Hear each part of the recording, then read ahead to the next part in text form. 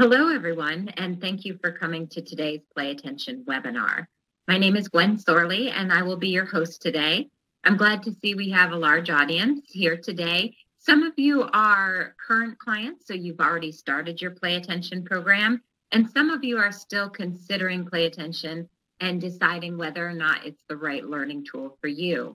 Now, today's event, we're not going to go so much into exactly how Play Attention works so if you are interested in more of the background on the technology and how Play Attention works, I would recommend one of our informational webinars that we have weekly. Our next is scheduled for next Wednesday. So if you do want to attend that event, you can register on our website or you can just type in the Q&A box here and I'll make certain that you are registered for that event. Now, there are a couple of things I want to mention before we get started. One is that we are recording this event. So if you need to share it with any other staff members or family members, you'll be able to do so. You'll receive an email follow up uh, after this webinar, and that will have the link to the recording. If at any time you do have questions, please type your questions in the Q&A box found in the bottom left-hand corner of the screen. And please do ask your questions. And in this webinar, really make comments as we go along because your questions and comments will really help all of the others here today and enhance everyone's experience. Now, if at any time you do lose connection, don't worry. Uh, once your internet has resumed, you'll be able to just log back into the presentation.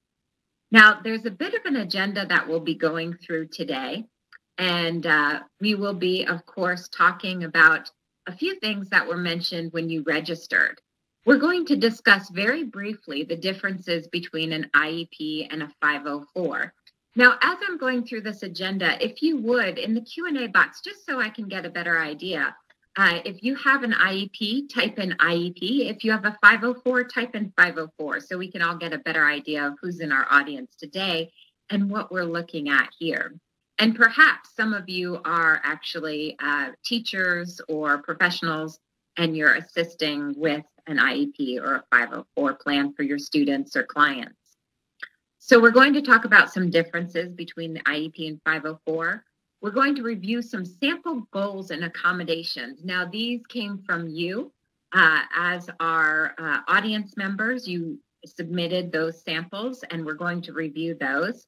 Once we review those, we're going to discuss how play attention can help your child or your student actually reach those goals. And we'll also discuss how your personal executive function coach here at Play Attention can help customize your Play Attention plan to make certain that we're addressing your particular needs. All right, thank you for those who have written in uh, your responses. Iona says she has an IEP. Jean says she has an IEP for speech and a 504 for ADHD. That's a really good point, uh, Jean. And so you have two different uh, types of plans there. Christy says, I don't currently have either. We are a small school and need to create one. Okay, excellent. Margot says she has an IEP. Uh, Brittany says she has a 504.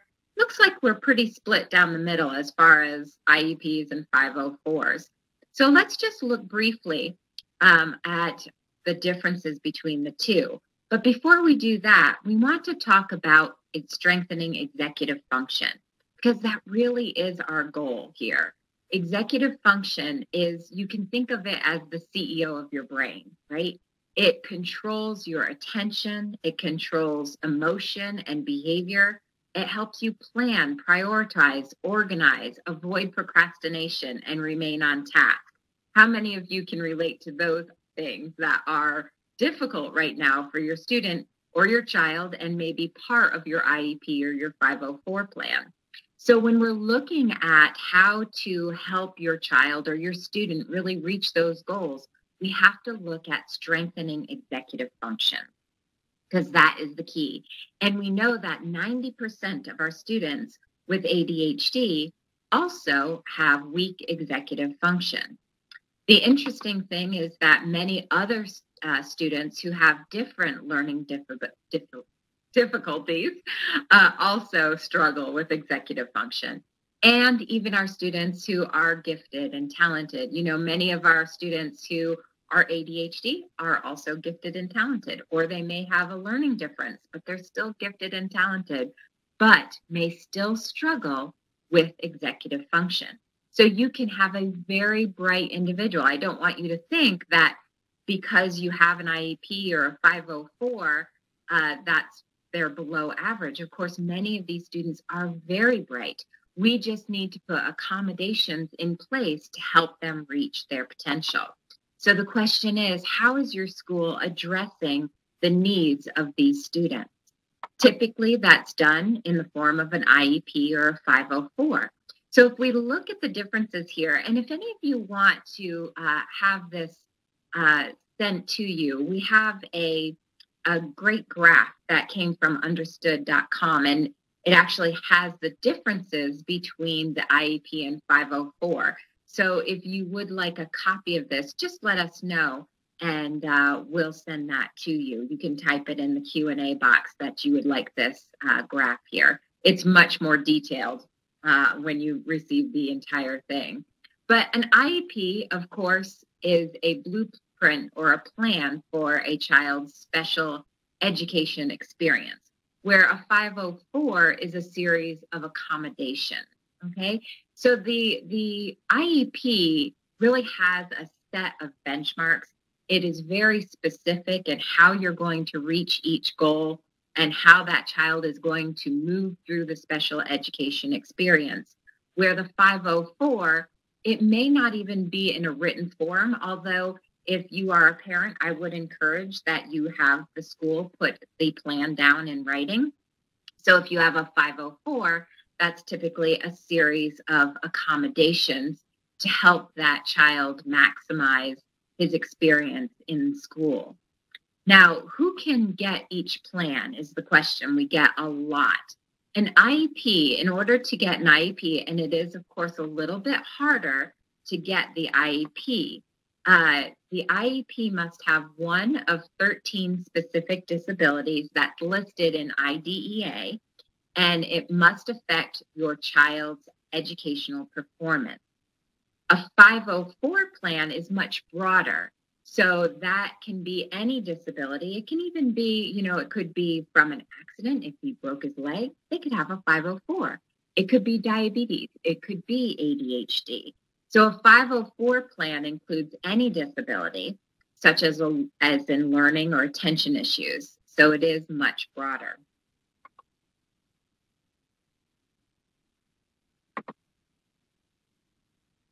How do we typically measure academic success? What is your answer to that question? Go ahead and type your answer in the Q&A box. When we're determining academic success, how is that determined? If you would, just type in your thoughts in that Q&A box. Margot says standardized testing. Karen says end of grade test. Sheila says report cards. Nathaniel says that he judges it by quizzes and tests in the classroom. Okay, so a lot of you are saying quizzes, tests, in order to really assess academic success and achievement. I have a couple others here coming in. Christy says visible growth different for each student. Absolutely. It can be different for each student. But usually the schools will go by those end of grade standardized tests in order to really see how that student has grown over the years, which, as you know, may not always be really accurate. But in order to really ace that end of grade test, right? In order for them to be able to show what they know, or to complete that large project that was assigned to them. It might be a big science project or it might be a big book report that they have to do. What do they need to have in place? It's more than just academics because I know many of you right now can think of your child or a student who is really bright, who really knows the material, but at the end of grade test fails miserably. How many of you can relate to that? Type Y for yes. Right. A lot of you are saying yes. Absolutely. And why is that? You know, so it has to be more than just the basic understanding of how to read, how to write, how to do math. There's more to it. In order to really show what they know, they have to have strong executive function. And that's what our plan within Play Attention is going to do.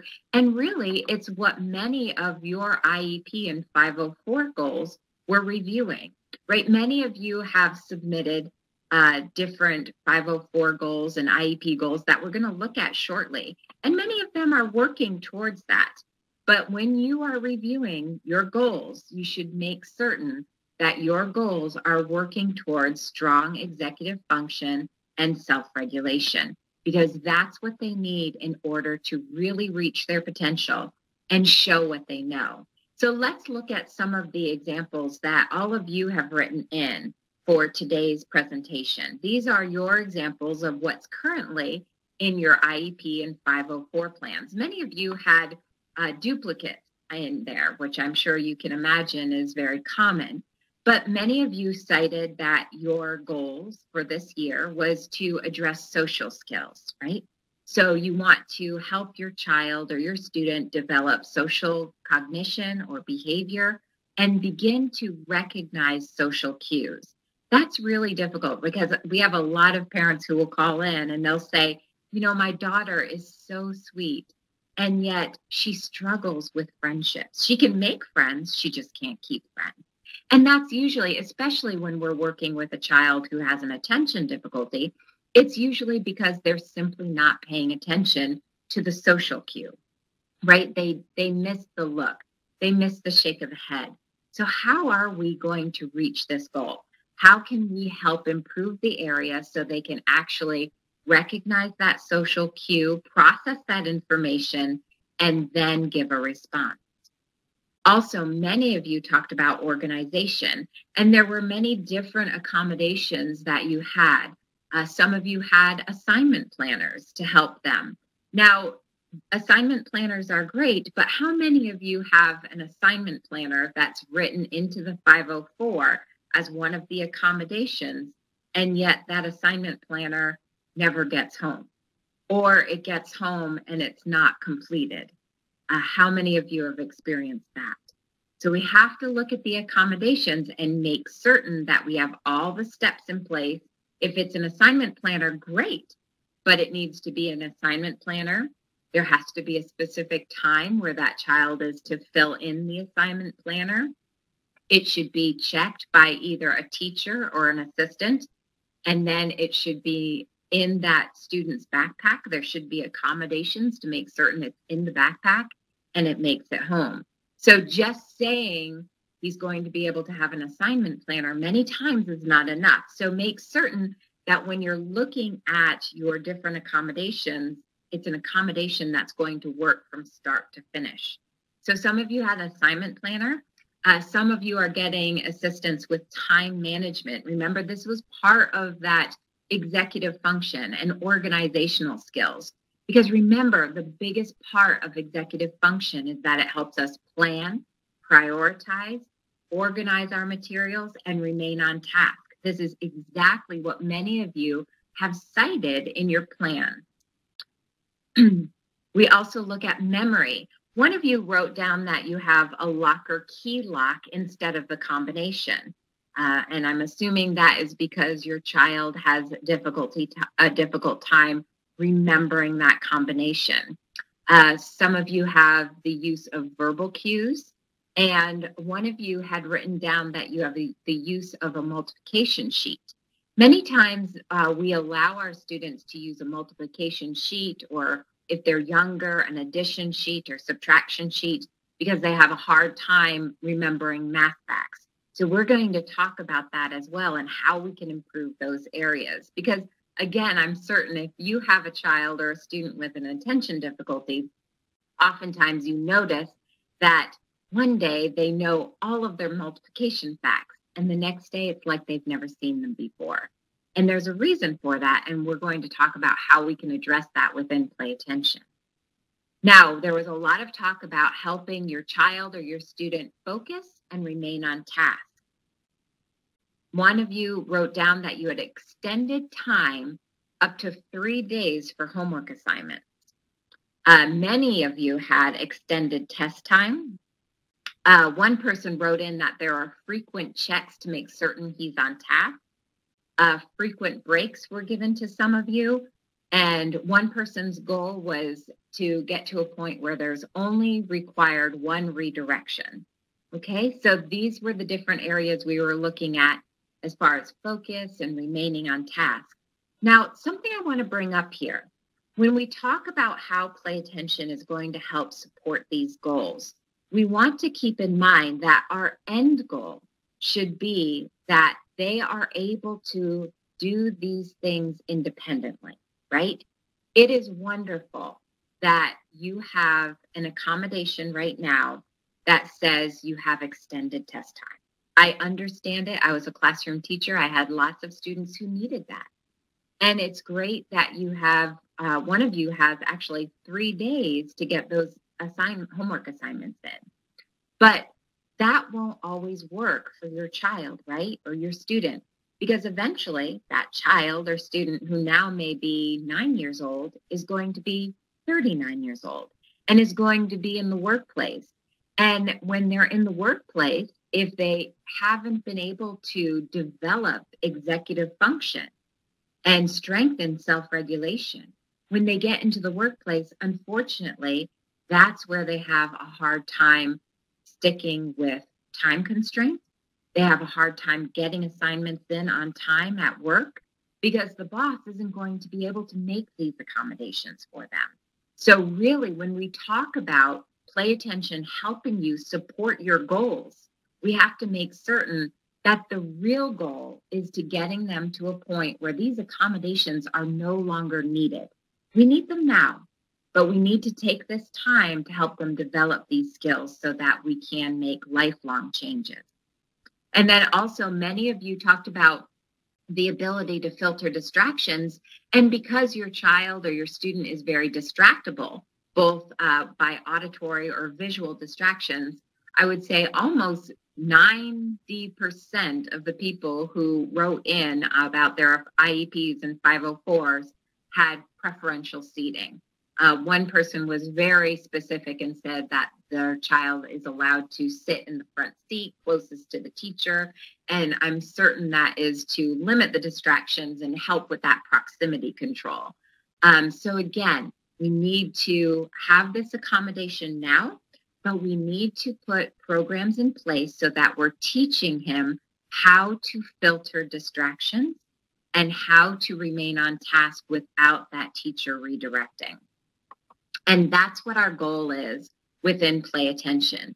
Play Attention's goal is to help develop the cognitive skills that lay the foundation for strong executive function. Because if we want them to be organized, if we want them to be able to pick up on social skills, social cues, if we want them to be able to be able to control their emotions and not be explosive in their responses, we have to be able to get them to a point where they're able to process and to stay focused. And all of that is done within play attention. That's our plan is to make certain that we develop those cognitive skills and unlock each person's potential. We do this, of course, through our combination of our feedback based technology with cognitive skill training and behavior shaping. So if you are currently using Play Attention, you have that BodyWave armband, right? And if for some of you who have not yet started your program, this BodyWave armband has three sensors, and those sensors monitor brain activity that tells us how attentive you are. And that information is then given over to the computer where they're actually able to control all of our cognitive exercises by mind alone and they get constant and immediate feedback as to whether or not they truly are focused and paying attention. So, this is what I want you all to really keep in mind, whether you are a current client or you're just looking into play attention. The power behind play attention is this integrated approach where we're monitoring attentive state. And then we're working on very specific cognitive skills that we're going to talk about here in depth in a little bit. Now, when we're working on those cognitive skills, if you want to work on attention, if you want to work on uh, filtering distractions or memory, since we're monitoring your attention and you can only start the activities when you are in your peak attentive state, it means when you are working on any of the play attention activities, you have to be actively engaged. And that is the key. They cannot just simply go through the motions when they're using play attention. They have to be actively engaged in order to start the activity or keep the activity running and then practice all of those cognitive skills that we need for strong executive function. Not only that, but for those of you who have behavior goals written into your IEP or your 504, we have a full behavior shaping program in the system as well. And this is really key. You know, I, when I was a classroom teacher, I had a student named Jaylon, and I'll talk about him a couple times during this webinar probably. Uh, but with behaviors, that was one of our goals was to help him learn how to control his fidgeting, his calling out. Uh, he had a lot of self-distracting behaviors. And initially, when I asked him, you know, because we had before we were working with play attention, we had the checklist. I would give him verbal cues, or we had um, a cue that no one else would know. You know, I would touch my nose, and that would give him the signal that he was doing one of those behaviors so that he could try to self correct. And so we did those things that probably many of you are doing now if you're a teacher in the classroom and the teachers have talked to you as a parent about the things that they're going to put into place to help them learn how to control behaviors. But when I asked Jaylon why he thought it was important, because I would be teaching math and he'd call out what he did over the weekend, just random things that ever popped into his mind. So I asked him, why do you think it's important that you don't call out? And he said, Because you tell me not to. So he really didn't know. And that was a big aha moment for me, right? Because I always took it for granted that they knew why it was important, but he really didn't. He thought it was important because I told them not to. But you and I both know that that's not enough to make a change, not enough to make personal change. So when we got to the play attention session, and if you're using play attention right now with your child or your students, and you're incorporating this uh, behavior shaping tool, keep this in mind how powerful it is. Because if, if you're playing, let's say, attention stamina, remember, attention stamina is that ability to direct and sustain attention. And they're going to choose from different characters. One is a whale. They'll see that whale going across the screen once he's focused and paying attention, he was able to push that whale down to the bottom of the ocean just with his attention alone. When he got distracted, and usually that would be his, his calling out, he'd have that whale down at the bottom of the ocean, and then he'd call out, I like SpaghettiOs, and immediately that whale would start to float up. Now I have a real teachable moment, right? it's not just me in the classroom touching my nose to let him know that he's doing a behavior that's not appropriate or that he has to control. I have a teachable moment here. So after that activity, I say to him, you know, what happened to that character when you started to call out? Well, he floated up. So what does that mean? It means I'm not paying attention. So in the classroom, when you call out, what does that mean? I'm not paying attention. So now he gets that one to one correlation on how that behavior actually affects his attention. And we set behavioral goals throughout the program. And so, more importantly, not only is he able to now monitor it, but he now knows that he can control it because he's seen himself control it during our session.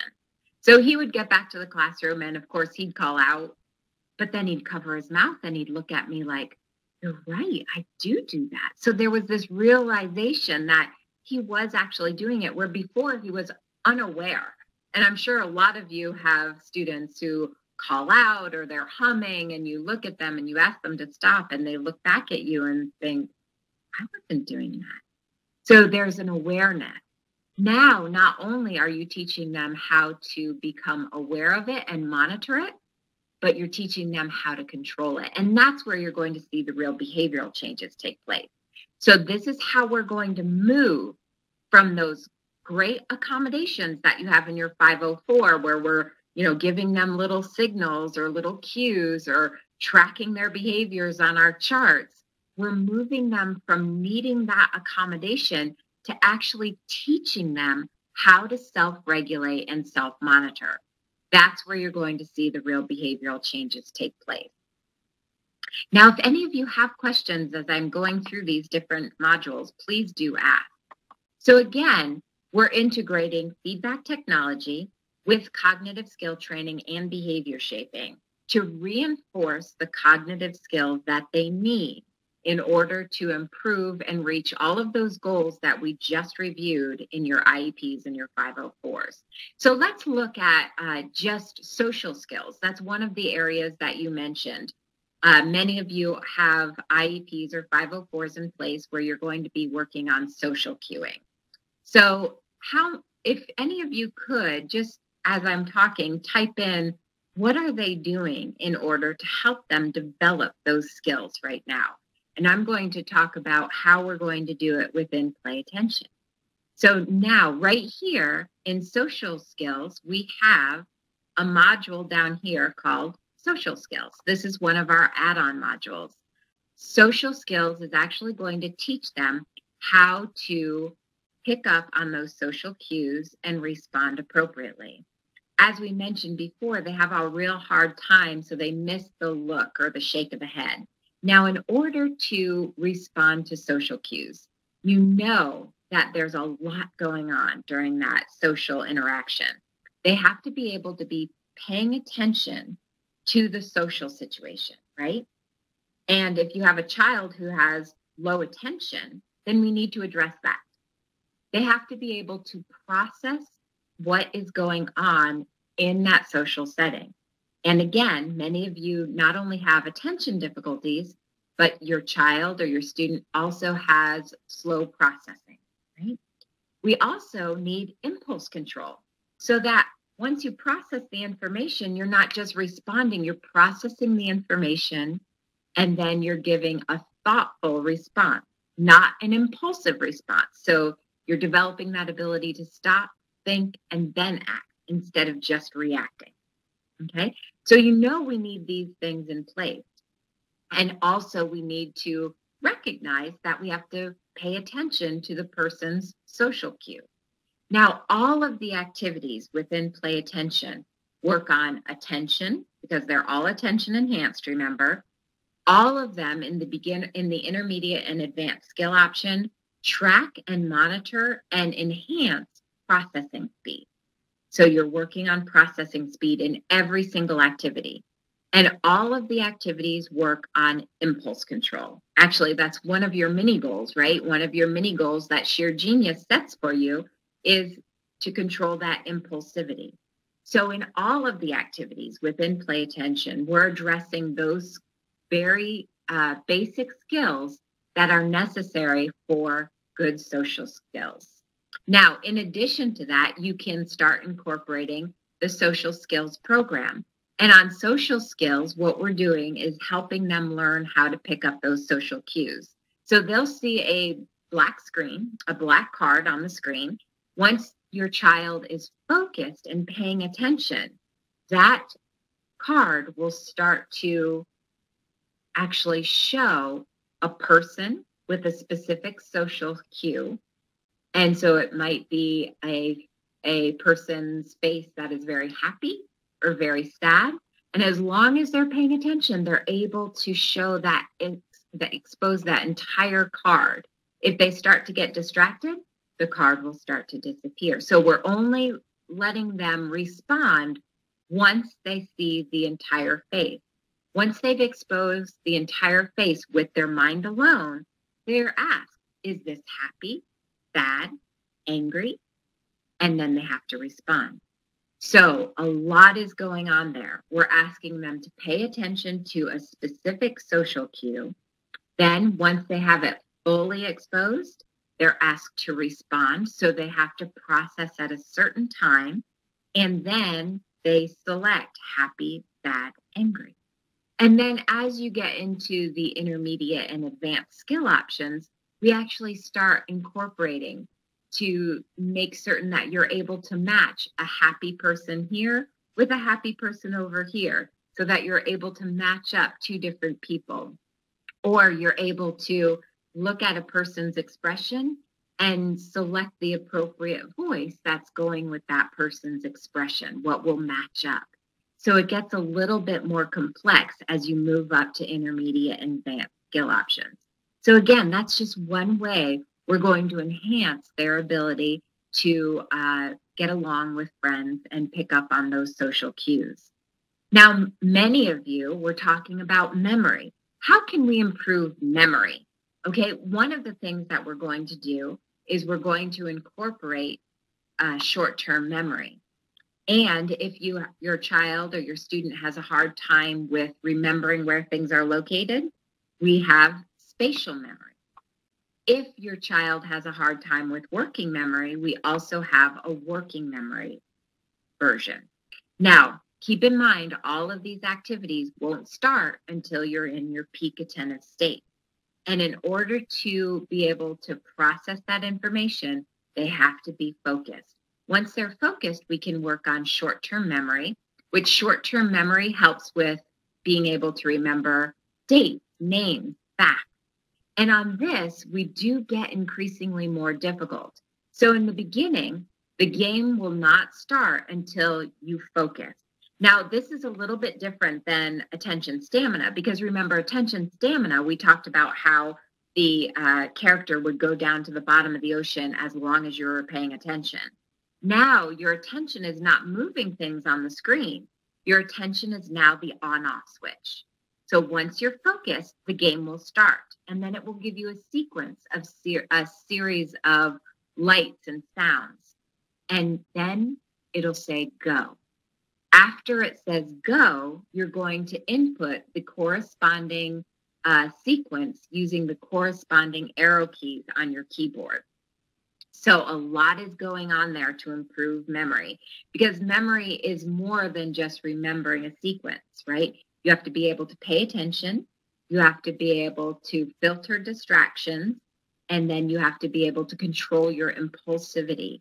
Because how many of you start telling your child or your student something and they don't listen to the entire uh, sentence? They just respond right away. So on this one they have to start the activity with their attention. They have to watch the sequence process that information wait for it to say go before responding so we're working on attention memory, impulse control, and processing speed. And that all working together will improve your memory. Now, you also want to make certain that, of course, all of these activities are, uh, they have an educational correlate. So you're always supposed to relate exactly what they're learning during their session and how to apply those skills back in the classroom and back at home. So if you have a child who is really struggling with that combination lock, you can use short term memory to help improve that area. I had one little boy I worked with, he was in eighth grade actually, and he really struggled with short term memory. He could not remember sequences of two when we started. But then as we started to go through the process, he actually started to improve on the number of sequences he could remember. So he was up to fours and fives. And I asked him, you know, what are you doing to remember those longer sequences? Because you used to only be able to do two sequences, and that was even difficult. So, what are you doing that's different? So, again, you're trying to develop that metacognition, thinking about their own thinking. And he said, Well, if it's red, green, blue, I repeat that to myself. I say red, green, blue, and then I respond. Well, that's rehearsal. You and I probably do that all the time, just naturally. You repeat it to yourself and then you respond. And if I give you a, a phone number, for example, 555 1212, you repeat it to yourself and then you put it into your phone.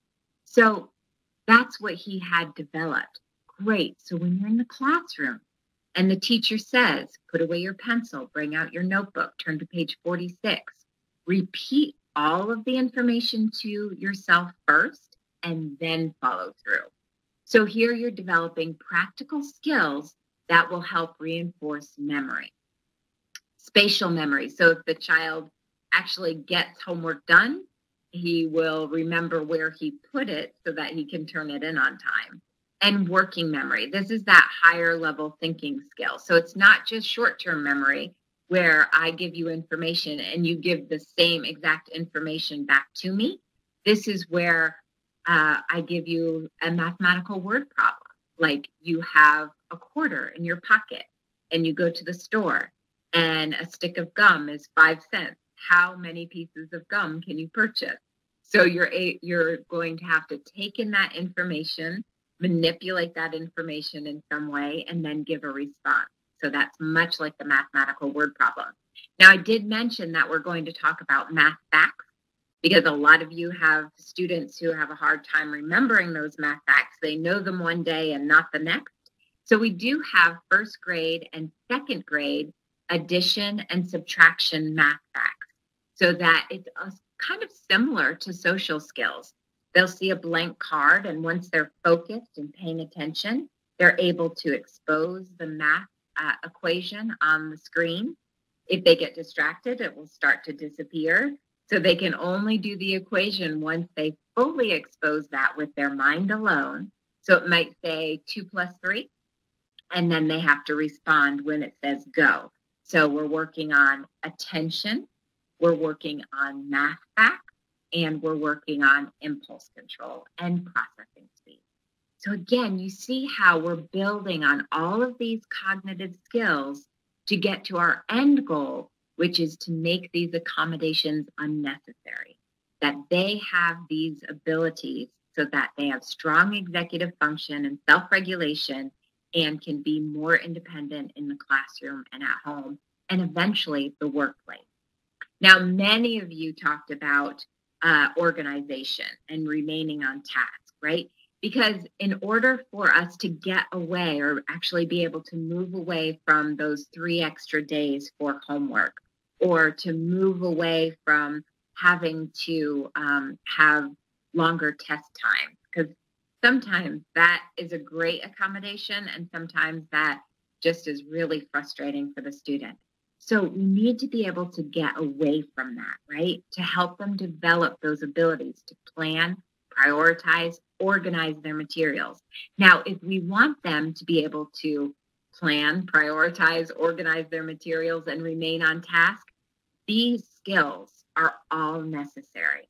So every single activity you do within play attention is helping support that ability to plan and organize and remain on task. Specifically, though, of course, attention, stamina, time on task, and academic bridge are the three that, if you really have concerns in these areas, these are the ones that I would strongly recommend we put into your plan.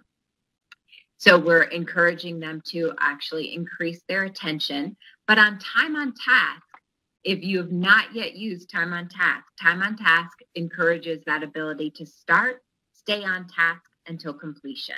Now, it's quite different again from attention stamina that we talked about. Attention stamina goes on for five, six, and seven minutes beginner, intermediate, and advanced, and it stops after those times. But on time on task, since we're working on the ability to start and stay on task until completion, the beginner, intermediate, and advanced skill options will go on and on and on until you complete your task.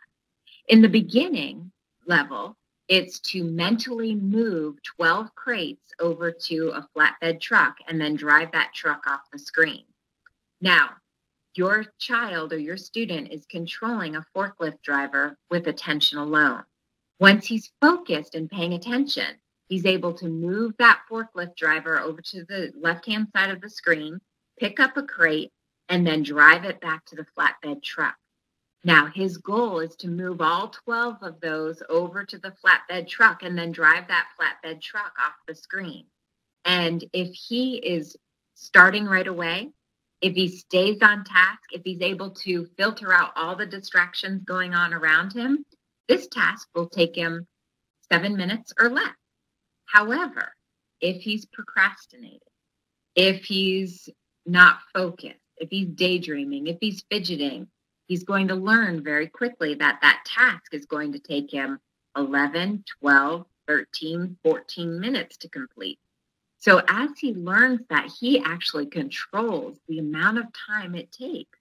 You're going to notice that he's starting faster, he's able to remain on task and get it done in a timely manner. And then we're going to relate this back. This is just like when you have to do that five minute math assignment, or you have 15 minutes of homework and it's supposed to take 15 minutes, or that uh, science test that's supposed to take 30 minutes. Let's practice that. Let's take that same level of attention that we used in time on task and apply that to this 30 minute science quiz or this 15 minute math assignment. And then you're going to move right down here to academic bridge. Now, when you're doing the science or math or reading assignment, remember they're still going to have that BodyWave armband on. And we're not monitoring where their eyes are, we're monitoring how attentive they are. So if they're paying attention to their reading, their spelling, their math, they're going to hear, good, great. If they start to get distracted during that activity, they'll hear focus, and then they have to focus back in in order to process the information and continue on. So, this is where transfer and generalization of these skills learned are really taking place. You're actually now practicing that ability to start and complete in a timely manner. So, eventually, we're going to be able to move away from having to have those three extra days for homework or the extended test time because we're going to actually teach and practice in a very structured way, teach and practice how to start and remain on task until completion. And that's really empowering. And, you know, there are a lot of different things we can do on Academic Bridge. So I encourage you to talk to your personal executive function coach specifically about the areas that they're having uh, they're having difficulties paying attention to the academics because when we select the academic work we want it to be on their independent level. So we're not going to take this time to teach them how to read or how to do math. Our goal here is teach them how to pay attention to the task okay? Now i want to share with you how this really transfers and generalizes to the academic achievement. Because when I asked you, how do we really, uh, how do we, um, how do we assess academic achievement? Many of you said the standardized test. Now, when I referred to my student Jaylon, he was really bright. He was in second grade and he could call out answers to double digit addition and subtraction off the top of his head. But when he took the end of grade test, when that occurred, he tested out in the 65th percentile. Now, I knew he was much smarter than that. He knew math better than 99% of his peers. And yet he tested out on that standardized test at the 65th percentile. And this is why I said earlier that those standardized tests aren't really, sometimes aren't really that accurate because that was not teaching his or assessing his ability to do math. He knew the answers. I knew he knew the answers.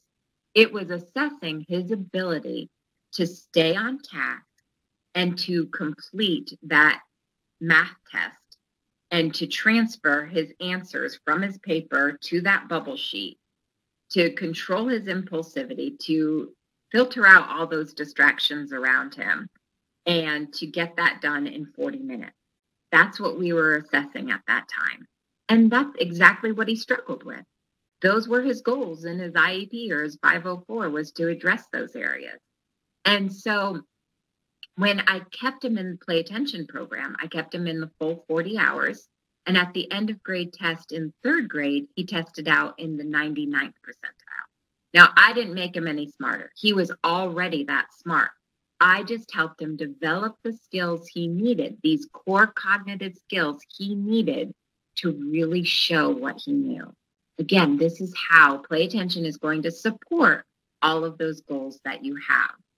Uh, Quinn, you are having a difficult time hearing it on your PC because you have technical issues. No problem. We will send out the recording. So you'll receive the recording so you can watch the replay later. I hope that helps, or I hope you could hear me say that. Okay. All right. Now, in addition to social skills training and remaining on task and your organization and your memory, you're going to be able to work on all of those cognitive skills that are going to make them successful. And if you like, this gave you kind of an overview. Oh, there was one other thing that you had mentioned. I knew there was one more area that we talked about, and that was filtering out distractions, right? Because a lot of you said that they have uh, preferential seating where they're sitting right next to the teacher. And as we mentioned, that's many times because they have a hard time filtering out that those distractions. You know, when I talk to especially a lot of our adult clients, they'll say, it's like there are a million different TV sets going on in my head all at the same time. Because ADHD is really a misnomer, isn't it? There's no one with a complete deficit of attention. They have great attention. It's just scattered over a variety of things. So they can tell you a little bit about what the teacher said, but they also know what the bird's doing outside and they know what Johnny's doing in the back of the room because they're picking up bits and pieces of everything. So in all of the activities within play attention, every single one, you're working on that ability to filter distraction. So we actually introduce in the intermediate and advanced skill options, we introduce uh, distractors, both auditory and visual, so that they can learn how to filter those distractions. Also, your personal executive function coach will help make certain accommodations in the environment. So, what we would recommend is when you start, if you have a child who's highly distractible, try to limit the number of distractions in the room. And what I used to do with my students is I'd have them wear headphones so that they could hear the play attention system, the play attention activities, but we were limiting the amount of environmental noise. But then once they get good, uh, they gain good success in that environment, they take the headset off. Now we're introducing more environmental distraction.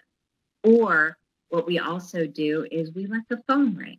We let other people walk in, or we let um, you know you yourself might walk around the room a little bit to have some visual distraction. When you're doing that, when you're gradually introducing environmental distraction, you're giving them the opportunity to learn number one what affects them because remember again like with self-distracting behaviors they're not really sure how these distractions affect them. You know, I know a lot of you think, well, he says he does much better if he has YouTube going on in the background and or maybe he needs a squeezy ball. Well, we have to assess whether those things are really helping or not helping. And with my student Jaylon, we actually did that experiment, you know, because he would have pencil wars on his desk all the time he would get out every pen, pencil, crayon he had and he'd put it on his desk and he'd be flipping those around. Now, I knew that was a distraction. He did not. But I said to him, Now, what do you think's happening to your attention when you're flipping those pens and pencils around? I don't think it affects me. Okay, great. So, next time we have a session, bring all of those pens and crayons up with you and then we'll play attention stamina. And if you have that character down at the bottom of the ocean, I'm going to ask you to move those pens and crayons around. If you're able to do that and keep the character down at the bottom, then we'll never move those again. I'll never take those away from you again.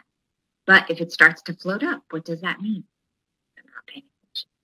So we have to control that. We're going to have to get rid of that distraction so that you can pay attention. So you're going to help them actually learn what distracts them and how to control it once again. So that's what we're going to be doing with environmental distractions, both auditory and visual. So again, you're not only teaching them how to monitor, how to self monitor, but also how to control that attention at will. Okay? So I hope this brings it all together and gives you a really good understanding of how play attention, that integrative approach with that feedback technology with cognitive skill training and behavior shaping will help support all of your goals within your IEP and 504 plan to make certain that we can make lifelong changes.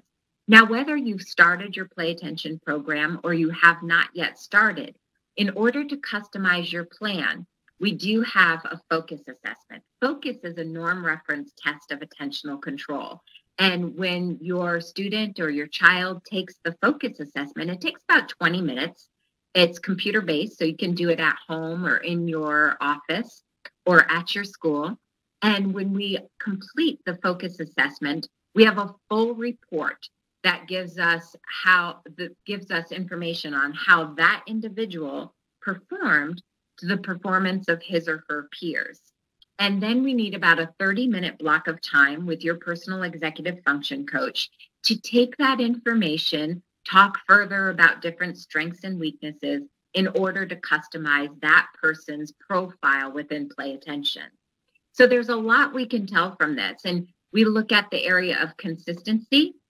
So if your child or student controls uh, is lower than the norm in the area of consistency, then right away we know that that person probably has a hard time starting and completing in a timely manner. So we're going to make certain that we have uh, attention stamina, time on task, and the academic bridge in that profile. If they're lower than the norm in performance, then we know that that student is probably our daydreamer. You know, he may get an assignment done, but leaves out bits of information here or there, or has a hard time following through with verbal instructions. So, in that profile, we're going to have attention stamina and probably auditory processing as well. And maybe even working memory would be a good one for that individual. And then impulsivity, we look at how they are with impulse control. And we're also able to show what types of distractions affect their performance. Is it auditory? Is it visual? Is it both? Or are they not distracted by those? So, this is one way that we can further customize your plan. So, if you have already started your play attention program and you're maybe 20 hours in and want to take a mid assessment, we can do that. Uh, or if you are just about to start your play attention program, we should do focus assessment prior to starting so that we can customize your profile for your child or your student or yourself. You know, we're talking a lot about uh, uh, children today, but remember that play attention is appropriate for adults as well. Now, in addition to that focus assessment, play attention also documents student progress over time. So a lot of our parents or our teachers or client or professional clients will use the documentation within Play Attention to support uh, the learning process in the IEP. So you can print out these documents and actually put them in your student folders to show progress in these different areas. Because Play Attention is going to actually document and graph progress over time in all of these skill areas. So you're going to be able to see how they're performing in attention, or ability to deal with distractions or impulse control. And you're going to be able to show progress over time. So these uh, progress reports are great for your IEP or 504 folders. You can also show comparison data. This is just a sample of the data that your student will see. Because as we know, a lot of our students are data driven and they like to see their graphs and charts as well and see their progress over time and play attention does all of that for you. Now, your customized program will improve focus, improve memory, impulse control, social skills, organization skills, the ability to filter auditory and visual distractions, improve task completion, and improve academic success. And we do all of this by improving cognitive skills that support strong executive function. If you have any additional questions, please do type your questions in the bottom left-hand corner of your screen in the Q&A box. If you would like a callback, just type in your phone number and one of our attention specialists will give you a call back here and address any of your remaining questions regarding play attention and how we can support your goals for this school year. Thank you so much, everyone, for attending today. We really appreciate you taking out the time to learn a little bit more. And as I mentioned, we are here to answer any additional questions or talk to you about how we can further customize your plan within Play Attention. Thanks so much. Take care.